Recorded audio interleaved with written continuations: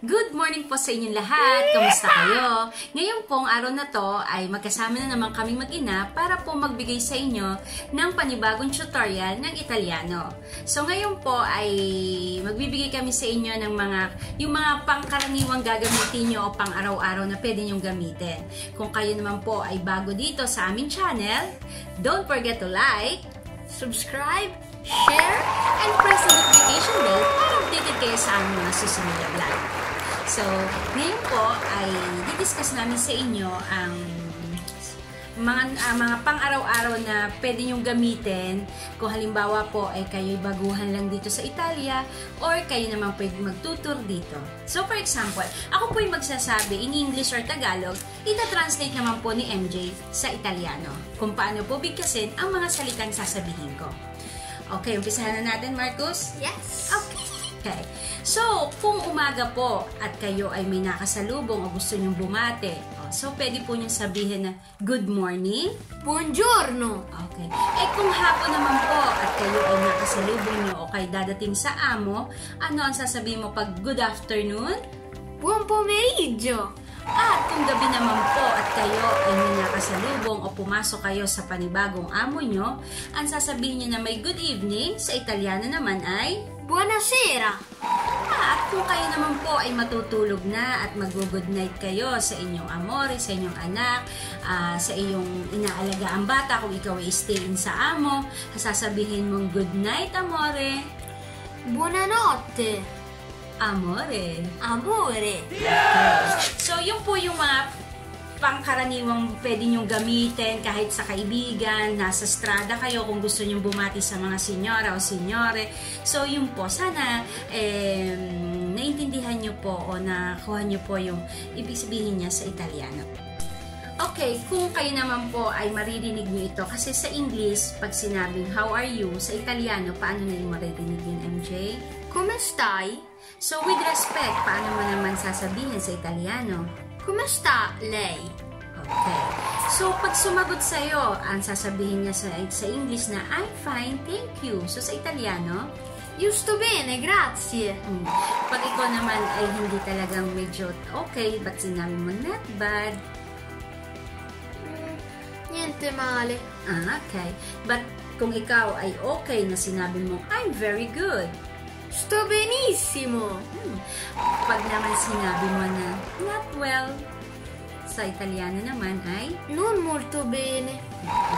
So, yun po, pag kayo nakarinig na nangumusta, komesta, yan. So, yun po yung pwede nyong mga sag isagot in Italiano. So, kung halimbawa naman, ikaw ay um, mag-goodbye, so sa Italiano, paano mo naman siya sasabihin? Ciao.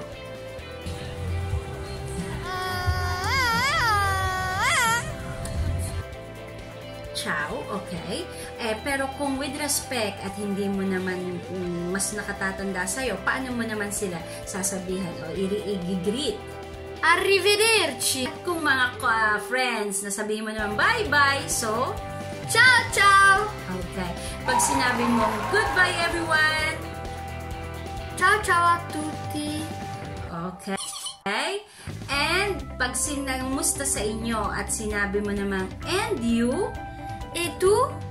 Mm, okay.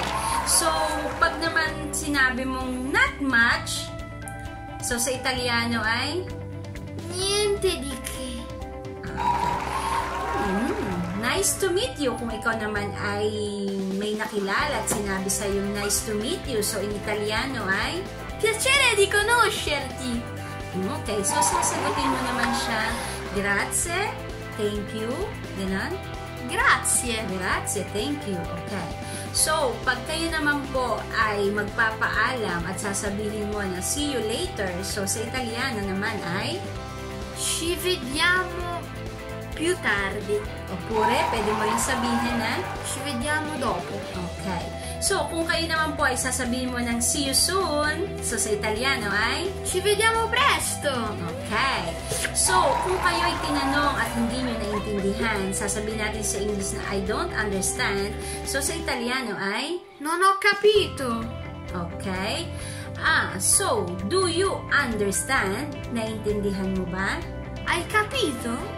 Ah, okay. Oh, yeah. So,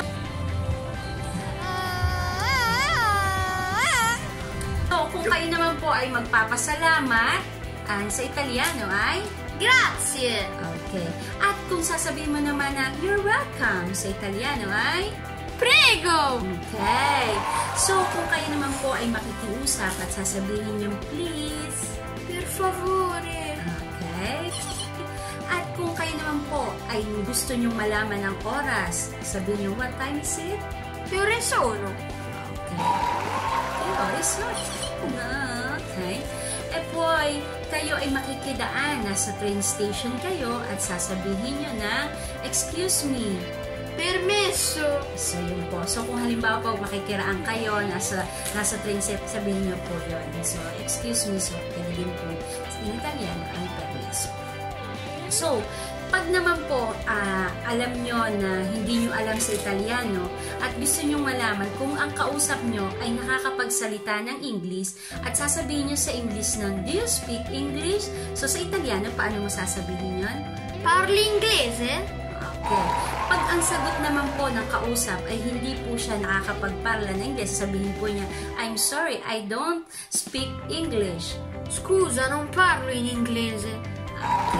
So, yun po. So, pwede kayong ah, masabi niyo yun kung hindi kayo makapagsalita ng Italiano kasi mostly naman po kapag sa restaurant, sa mga train, ah, may mga ano naman po na nakakapagsalita ng English. Kaya kung hindi niyo masabi ng Italian, pwede niyo sabihin yon. Ano nga yung para pagka hindi sila, pag hindi siya marunong sa Italiano, pwede niyo sabihin kung nakakapagsalita siya ng English ay No, non parlo in inglese. Ah, so ibig sabihin po, hindi siya nakakapagsalita ng Ingles eh. So talaga pong papipilitan kayo na sabihin sa Italiano. So yun po yun. Kaya po kami ay nagbibigay sa inyo ng mga tutorial para po magamit ninyo kung kayo naman po ay magbibisita dito sa Italy. So hanggang dito na lang po ulit ang aming tutorial at salamat po sa inyong pakikinig at sa inyong panonood. Sana po ay nagustuhan niyo ang video na to at sa mga susunod pa po namin vlog. Thank you! But don't forget to like, subscribe, share, and uh, click the notification bell para updated kayo sa mga susunod namin vlog. Thank you! God bless! Bye-bye!